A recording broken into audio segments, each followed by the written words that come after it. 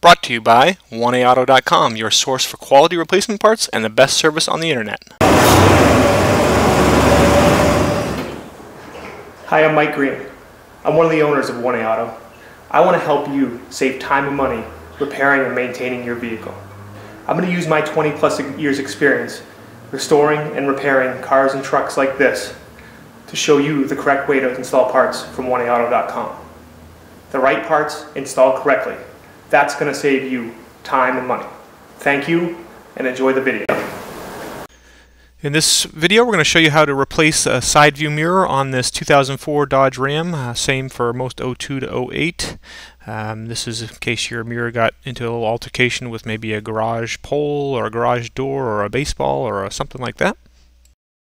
Tools you'll need are a T40 Torx driver, a Phillips screwdriver, a flat blade screwdriver, and a 10 millimeter wrench or a socket and ratchet. To remove your front door panel, you're going to start by removing a T40 Torx screw and hold your handle on right there. Okay, and then you're going to remove four Phillips screws. One there, one up here, and two down in the lower part of your door panel. There's my T40 Torx driver.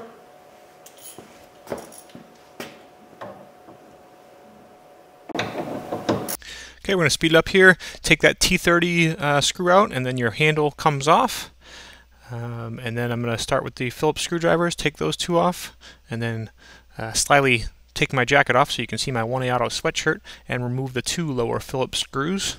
Now use a regular screwdriver. Carefully pry up on your switch plate here. Okay, then pull it up. And both these connectors, they have a little button right here, press the button, and work the connector to the switch. Same thing here, button right there.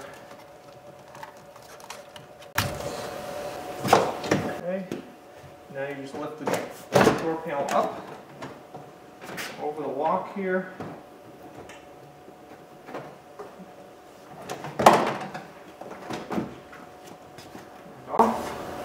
To remove your mirror, or if your mirror is broken, what's remaining of your mirror, um, here is your harness lead. There's just a little button right on top. Push that down, unplug it. 10 millimeter wrench.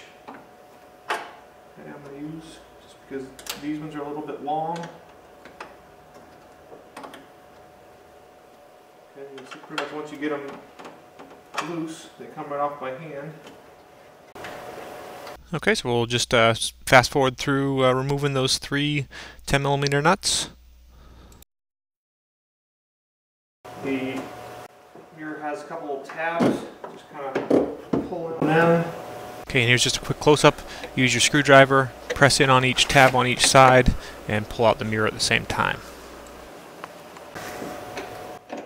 Push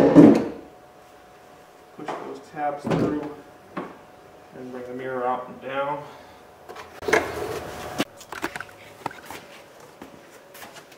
Okay, so here we have our new replacement for 1A Auto. Comes right out of the box. It's shipped folded. Hold it back into place. Okay. And you can see it's basically all the same as the original. It's going to mount the same. Same connector and everything.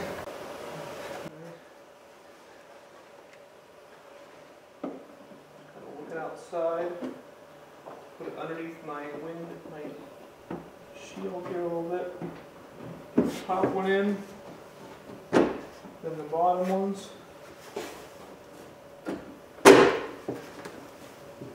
Okay.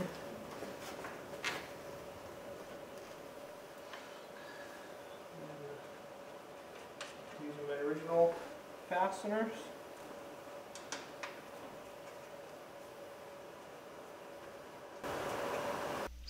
Okay, and we'll just fast forward through uh, putting those three 10 millimeter uh, nuts on and then tightening them up. You want to tighten them up uh, nice and firm, not too tight. You don't have to go crazy, um, but good and firm.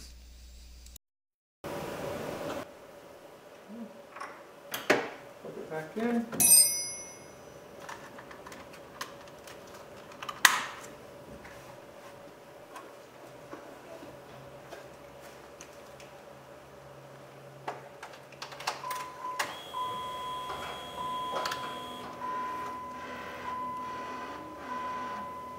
Sure everything works correctly. Take this off and put your door panel back on.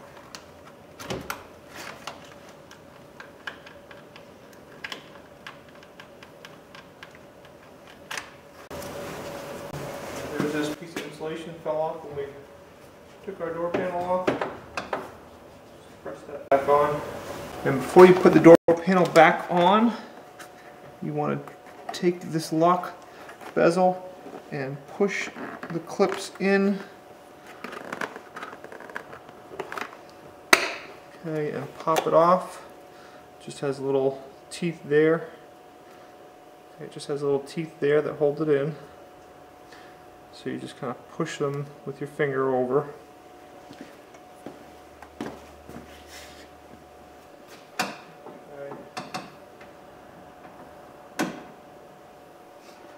And then to put it back on, what you want to do is there's teeth at the bottom, kind of rest it like that, and bring it up, pull your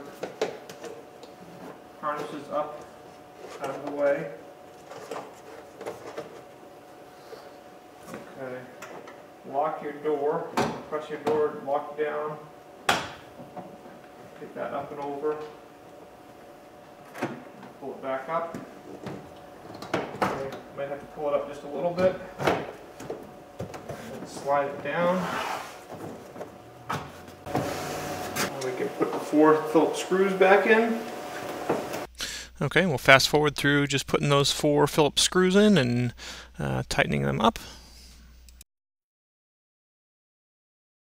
Okay, our switch.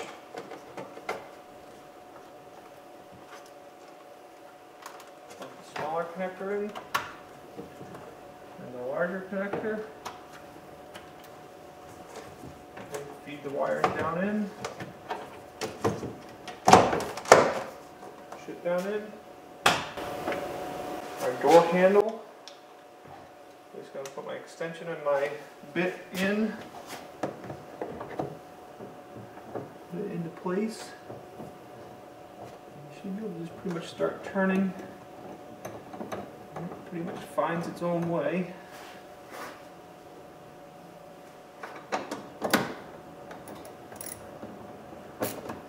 Uh,